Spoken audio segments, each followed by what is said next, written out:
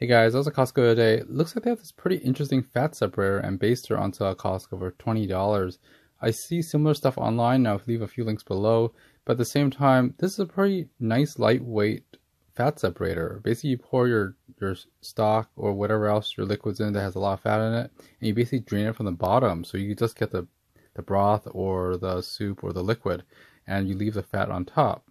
There's basically a little switch opening on the bottom that basically releases the soup and from the bottom part, or not soup, but liquid, and you stop it well before the fat goes in. On top is a little strainer as well, which is pretty cool.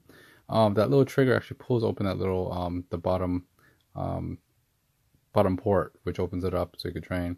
They also come with this interesting baster. Both of them are made of this um, BPA-free plastic, which is pretty nice. The baster actually has a shower head on it, which I thought that's neat. I haven't seen that one before um, that you attach to the front so it acts like a little shower that goes out of it.